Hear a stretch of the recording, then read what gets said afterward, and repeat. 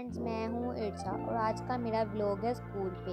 और ये है हमारा गवर्नमेंट सतलुज हाई स्कूल और इसमें था फन फेयर फन फेयर का आपको मैं आज ब्लॉग दिखाऊँगी और हमने कैसे इंजॉय किया और क्या क्या किया वो मैं आज आपको सब कुछ दिखाऊँगी। ये हम आए थे, सबसे पहले स्कूल एंटर हो गए थे और फिर हम ये देखें, जा रहे हैं। ये हमारा स्कूल है क्लासेस वगैरह हैं और ये ग्राउंड है समरी ग्राउंड जो होता है, ये नाइन टेन का जो ग्राउंड है, ये वो है। नाइन टेन का ग्राउंड, ये है यहाँ पे असम्बली स्टेज। यहाँ पे हमारी असम्बली होती है और ये देखिए सारा असम्बली ग्राउंड है और ये देखें हम हम जा रहे थे।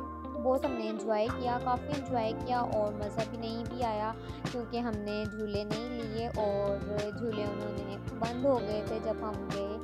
तो बस हमारी गलती और उन्होंने परमिशन नहीं ली थी।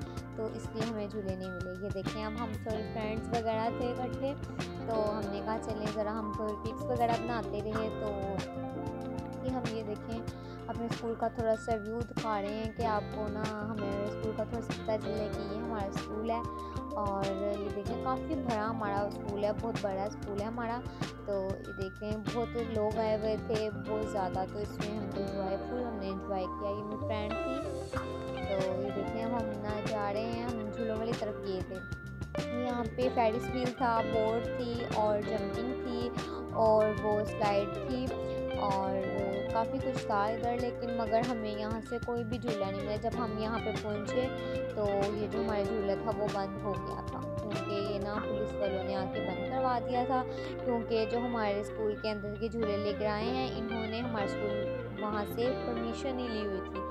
उसकी वजह से उन्होंने बंद कर दिया और ना किसी बच्चे को झूला मिला। तो बस हमें इस तरह ही बहुत अफसोस हुआ कि हम गए भी और हमें जो है, अपने झूले इंजॉय करने का मज़ा नहीं आया। और वरना अगर मैं झूले लेती तो मैं उसकी वीडियो भी ज़रूर इसके अंदर ऐड करती लेकिन अब वो हमें झूले मिले ही नहीं तो हमने भी इंजॉय क्या करना था उसके अंदर। बस वैसे ही हमने खाया, पिया, खेले, कूदे, चले पिले तो हमने ना ये ब्लॉग बना लिया और हमने इंजॉय किया। लेकिन हमारे यहाँ पे हमने जब हो गए फ्री तो हम शॉर्मा हमने का ले लेते हैं। शॉर्मा बर्गर वाली तरफ़ आए, ये भाई जो हैं, ये शॉर्मा बना रहे थे। शॉर्मा इन्होंने बहुत अच्छे से बनाया और इनका बहुत मज़े का शॉर्मा था टेस्ट और ये नीट एंड क्लीन शॉर्मा बना रहे थे, इन्होंने हमें शॉर्मा दिया।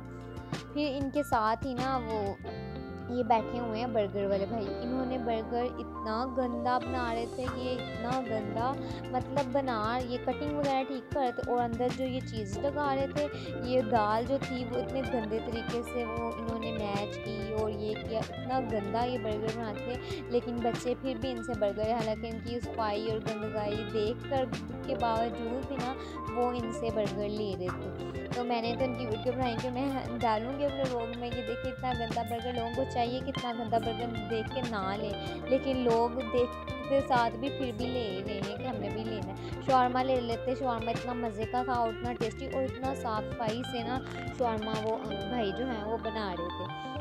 ये देखें इस तरह भाई ना बर्गर बना बना रहे थे और इन्होंने भी इतने ज़्यादा बर्गर बनाए और दिए। और लोग इतना चला रहे थे इस भाई के पास, इतना चला रहे थे, दे ही नहीं रहे थे फिर हमने बुशारमा शुरमा खा लिया, हम यहाँ पे आए, समोसा लिया हमने।